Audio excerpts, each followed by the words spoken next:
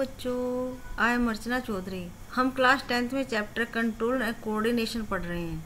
हम plant hormone की study कर रहे हैं। पिछले लेक्चर में हमने ऑक्सीजन हार्मोन की स्टडी की और उससे फ़ंक्शन के बारे में देखा, जैसे cell enlargement apical dominance prevention of abscission movement root formation tissue culture fruit growth and weedicide ये है ऑक्सीजन के फ़ंक्शन आज का टॉपिक है gibberellin. Gibberellin hormone hormone actually में केमिकल सब्सटेंस होता है, जो जो बॉडी के एक पार्ट में बनता है और बॉडी के दूसरे टिश्यू या ऑर्गन को इफ़ेक्ट करता है। जैसे एनिमल में एंडोक्राइन ग्लैंड मिलती हैं। एंडोक्राइन ग्लैंड मिलती हैं, जो कुछ हार्मोन को सिक्रीट करती हैं। और ये हार्मोन दूसरे ऑर्गन या टिश्यू के फ़ंक्शन को इफ़ेक्ट करता है। उसी तरह प्लांट में भी बहुत सारे हार्मोन मिलते हैं। जैसे हमने पिछले लेक्चर में देखा auxin gibberellin cytokinin, ethylene abscisic acid ये सब प्लांट में सिक्रीट होने वाले कुछ हार्मोन हैं, जो प्लांट की ग्रोथ और डेवलपमेंट को इफ़ेक्ट करते हैं। आज का हमारा टॉपिक है जिब्रेलिन हार्मोन। जिब्रेलिन हार्मोन भी एक केमिकल है, जो जापान में जापान में जो राइस क्रॉप होती है ना, उसमें सबसे पहले देखने को मिला। उसमें के जो राइस प्लांट हैं, वो बहुत लंबे हो जाते हैं, ठीक है ना? लेकिन उनमें फ्लोवरिंग नहीं होती। इस डिज़ीज़ को बोला गया बेकने रोग। बेकने डिज़ीज़ बेकने डिज़ीज़ और चूँकि इसमें कोई फ्रूट्स नहीं लगा, चूँकि इसमें फ्लोवर फ्रूट और सीड एबसेंट होते हैं, इसीलिए इसको बोला जाता है फुलिस फुलिस सीडलिंग ठीक है? और जो ये डिज़ीज़ है ये जिब्रेला फ्यूजिकोराई जो फंगस है, उसकी वजह से होता है। Gibberella fujikuroi.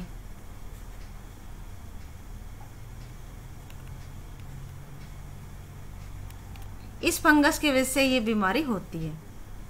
Zebra, they are mildly acidic tetracyclic organic substance. ये एक एसिडिक टेट्रासाइक्लिक ऑर्गेनिक सब्सटेंस होता है, ठीक है ना? Which bring about cell elongation of leave stem and food in fruits in plants they are form by young leaves of buds root tip and developing seed ये जो hormone है, ये leaves ये यंग लीव्स में buds में root tip में या developing seed में ये प्रोड्यूस होता है। इसके फ़ंक्शन होते हैं, ये इफ़ेक्ट करता है ग्रोथ को। Gibberellin promote growth in leaves stem internode and fruit they are use to increase yield of fruit मतलब जो फ्रूट की जो इल्ड है, उसको ये बढ़ाता है और शुगर इन शुगर कैन जैसे ये है, जो रोजेट फॉर्म होते हैं ना रोजेट शेप जैसे रोज फ्लावर दिखता है ना, बिल्कुल ये ऐसे दिखता है। ये इसकी पंखुड़ी है रोज की सेपल है, ठीक है ना? बिल्कुल ये ऐसे ही दिखता है, क्योंकि जो इंटर नोड है ना, उसकी लंबाई बहुत कम है, ये ड्वार्फ है जेनेटिकली ड्वार्फ है। लेकिन अगर इसमें ट्रीटमेंट किया जाता है जिब्रेलिन का तो इंटर नोड बढ़ जाती है बिना लीव के। बिना लीव के इंटर नोड में ग्रोथ होती है इलोंगेशन होता है। इसको बोलते हैं बोल्टिंग बोल्टिंग ठीक है? और जो जेनेटिकली ड्वार प्लांट होते हैं। वो तेज़ी से लंबे हो जाते हैं। उनकी लेंथ बढ़ जाती है। ये होता है जिब्रेलिन की इफ़ेक्ट से। ओवरकमिंग डोरमेंसी जो डोरमेंट होते हैं, सुप्त अवस्था में जो मिलते हैं सीड है। सीड जल्दी स्प्राउट नहीं होती है। उन्हें एक टाइम चाहिए होता है रेस्टिंग के लिए।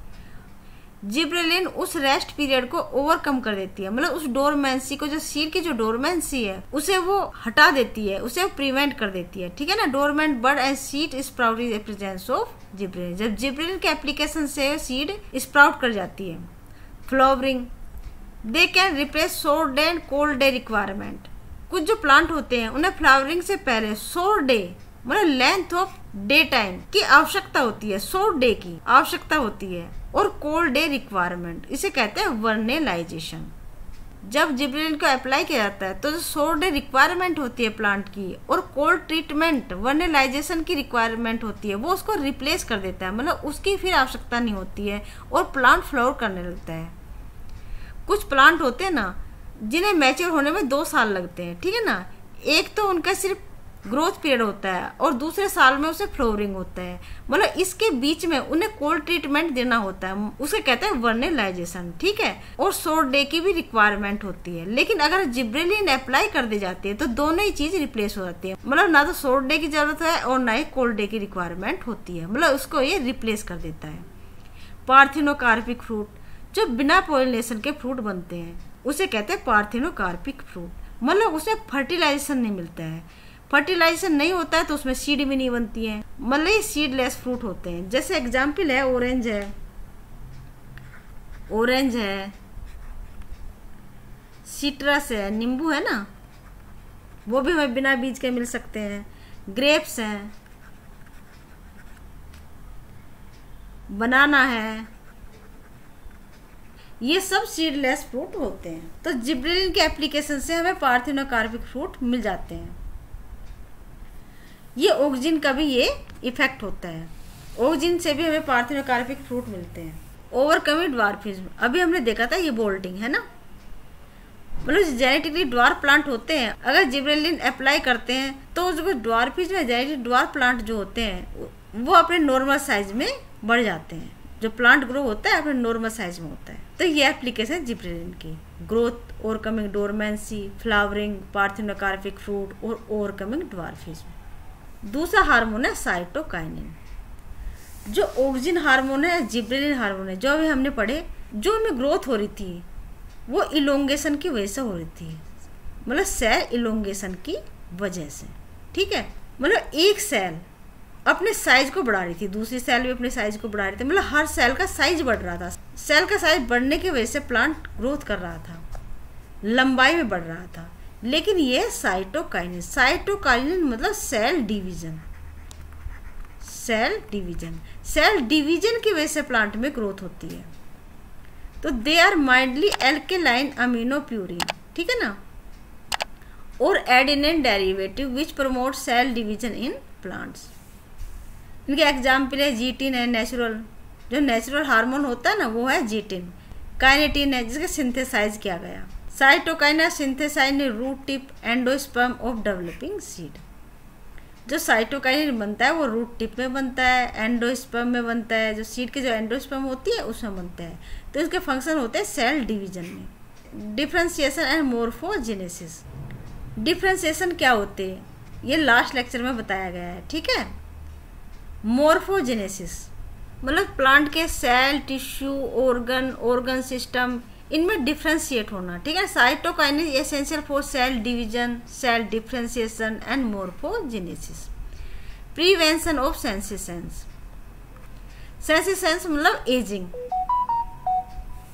मैच्योरिटी मैच्योरिटी के बाद प्लांट हो या एनिमल हो डिजनरेशन की ओर शुरू हो जाता है और धीरे धीरे डेथ की ओर बढ़ने लगता है।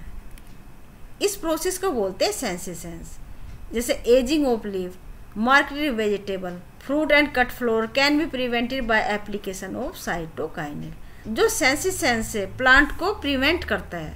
ये फ़ंक्शन भी है साइटोकाइनिन का। Accumulation of nutrient cytokinin improve yield and quality of fruits resistance है। They enhance resistance of plant to environment stress and disease बहुत सारी एनवायरमेंट स्ट्रेस होती हैं।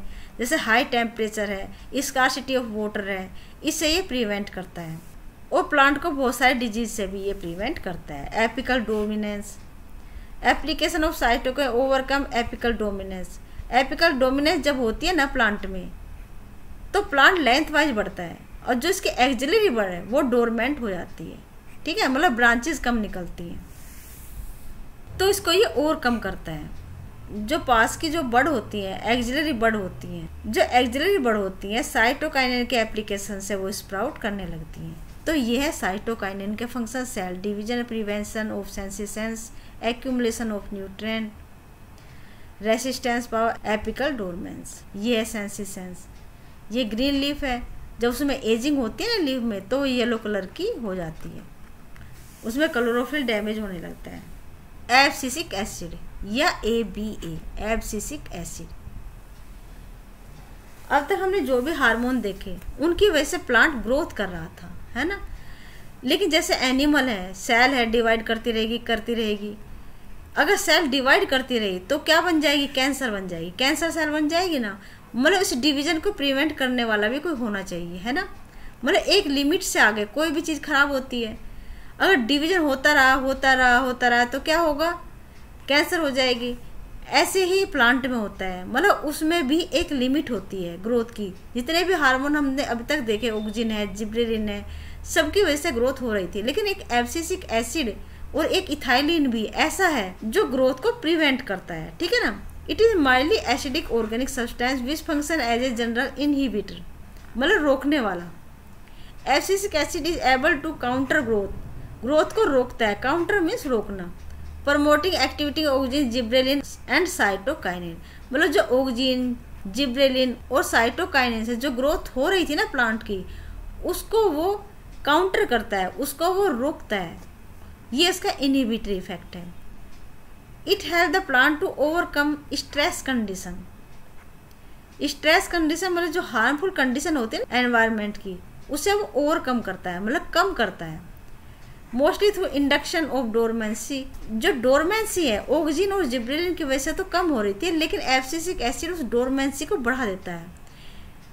Therefore it is known as stress hormone as well as dormin इसको dormin भी बोलते हैं, ठीक है ना?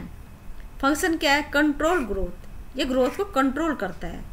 By counteracting the effect of other hormone abscisic acid और A B A control growth ये दूसरे हार्मोन के अपोजिट ग्रोथ को कंट्रोल करता है। मतलब इनहिबिट करता है, ठीक है ना? विल्टिंग विल्टिंग मतलब मुरझाना, झड़ जाना, पत्तियों का झड़ जाना। जैसे स्ट्रेस कंडीशन है। वाटर की तो पहले स्कारसिटी है, कमी है ठीक है ना? और बहुत सारी लीफ है। एक तो उन्हें फ़ूड बहुत ज़्यादा चाहिए, है ना? और वो लीफ में होते हैं स्टोमेटा इसलिए जो वाटर है, वो एवोपरेट हो जाएगा। मतलब पानी की और ज़्यादा कमी हो जाएगी, है ना? मतलब खाने की खपत हो रही है और पानी भी उड़ रहा है। तो कुछ ऐसी सिचुएशन बने जो दोनों कंडीशन को रोक सके। वो है एब्सिसिक एसिड मतलब एब्सिसिक एसिड से एब्सिसन हो जाता है लीव का। लीव गिर जाती है, ठीक है? इसका वजह से जो स्टोमेटा की संख्या भी कम हो जाएँगी। मतलब एवोपरेट जो पानी हो रहा था, वो भी कम से कम होगा। और जो फ़ूड है रिज़र्व फ़ूड मटेरियल है, उसकी भी खपत कम होगी। इसलिए इस हार्मोन को बोलते हैं स्ट्रेस हार्मोन ठीक है? It cause wilting and abscission of leave leaves को गिरा देता है। एजिंग ऑफ़ लीव ठीक है? Abscission it promote abscission of flower and food abscission layer बन जाती है एक्चुअल में। जैसे ये लीफ है, ठीक है? और इसका पैटियोल है। एक लेयर बन जाती है यहाँ। एक लेयर बन जाती है जो वीक होती है। वीक होती है। मतलब जो इनका मिडिल लेमिला है ना। जैसे ये एक सेल है। दो सेल के बीच में ये मिडिल लेमिला है, ठीक है? और फिर ये सेल वोल है, ठीक है? प्राइमरी सेकेंडरी टर्सरी इस तरह से होती है ना। तो जो मिडिल लेमिला है ये भी वीक हो जाती है। और जो सेल वॉल की जो लेयर है, उसमें कुछ सेलुलेज कुछ पैक्टिनेज सेलुलेज एंजाइम सेलुलोज को ब्रेक डाउन करता है पैक्टिनेज एंजाइम प्रोटीन को ब्रेक डाउन करता है। इस तरह से वो अपने अपने एलिमेंट पे टूट जाते हैं, ठीक है? और यहाँ पे बन जाती है एक वीक लेयर इसको बोलते हैं एफसीसन लेयर मतलब यहाँ पे जो इनका बाउंडेशन है ना, वो कमज़ोर होता है। जैसे हवा चलती है, पत्ती गिर जाती है। तो ये एब्सिसन को प्रमोट करता है। एब्सिसिक एसिड एब्सिसन को प्रमोट करता है। Number four dormancy abscisic acid cause dormancy of buds and seed वो डोरमेंट रखता है उसे। मतलब जब तक स्ट्रेस कंडीशन है वाटर की कमी है या वेरिएशन इन टेम्परेचर है, इस कंडीशन में वो बर्ड्स या सीड को डोरमेंट रखता है। Transpiration it check check means रोकना। Transpiration by closure of stomata so it is use as anti transpirant इसको एंटी ट्रांसपेरेंट के रूप में भी इसको यूज़ करते हैं। ठीक है? तो ये था आज का टॉपिक आज हमने तीन हार्मोन के बारे में पढ़ा। जिब्रेलिन जिसका फ़ंक्शन होता है growth overcoming dormancy flowering parthenocarpic fruit और ओवरकमिंग ड्वार्फिज दूसरा हार्मोन हमने पढ़ा साइटोकाइनिन जो प्रमोट करता है सेल डिवीज़न को। इसके फ़ंक्शन होते हैं सेल डिवीज़न में prevention of senescence accumulation of nutrient resistance power और एपिकल डोमिनेंस को ये ओवरकम करता है। फिर हमने पढ़ा एफसीसिक एसिड जो इनहिबिटरी रोल प्ले करता है।